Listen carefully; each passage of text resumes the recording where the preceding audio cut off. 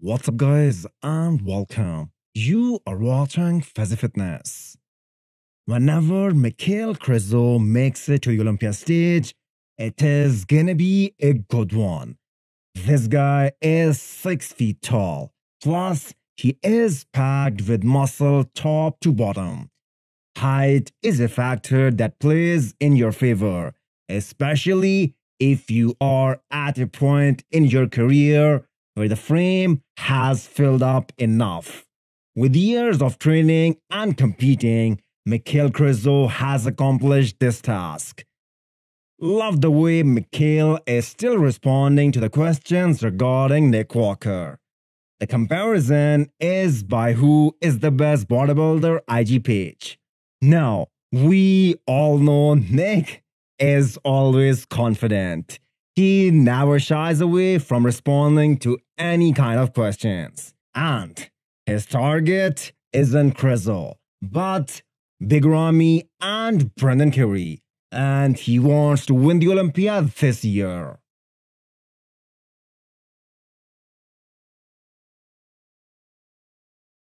An interesting point was made on the podcast uploaded on Mr. Olympia YouTube channel. The point was that a lot of big names who haven't qualified for the Olympiad yet, but they aren't doing the Chicago Pro. Roelly Winklaar, for instance, although he says he isn't retired, but we have got to realize Roelly isn't getting any younger he didn't have a good 2021 season, and he has no plans to compete in the near future as well. Does that mean Roelly's career is at an end? Most likely, yes, as he is 45 years old now.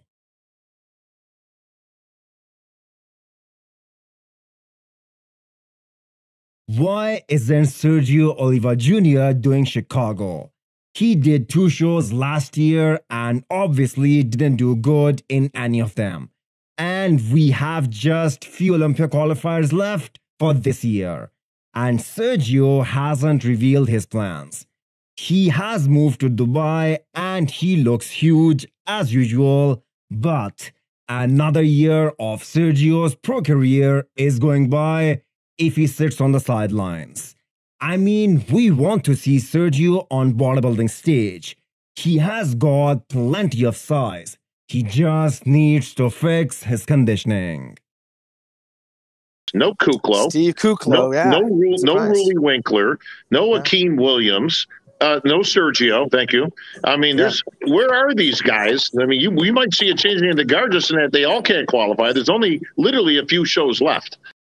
In the grand scheme of things, Krizo can win his pro card in Brazil, the last qualifier for the Olympiad this year, and be on the Olympia stage.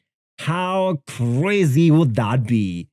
We don't care where he places at his first Olympia, but that will certainly hype up the event even more.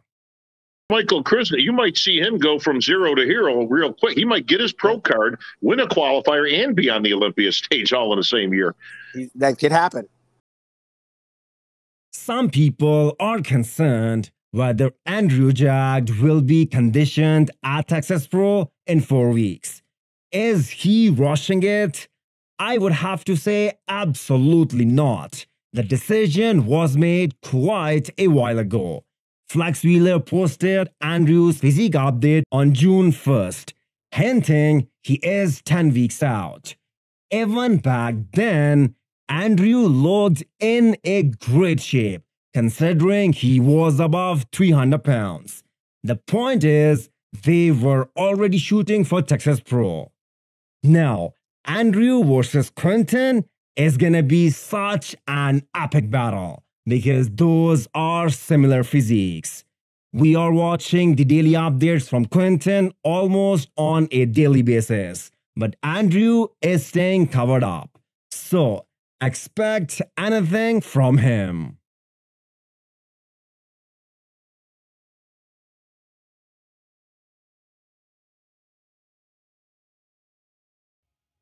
Joe Mackey, another big guy coming to Texas Pro. he already looks so much better than what we saw from him last year.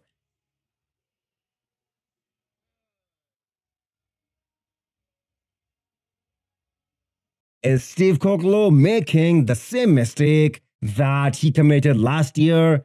He didn't compete in Tampa Pro and went straight on to Texas, where he lost to Ian, which was a very close battle. I definitely think Steve Kuclo is the favorite to win this show, especially if he shows up like he did at this year's Arnold or Boston Pro. One thing is for sure Texas Pro is gonna be one hell of a show. Hit the thumbs up button if you liked the video and smash the subscribe button if you wanna come back for more. Thanks for watching.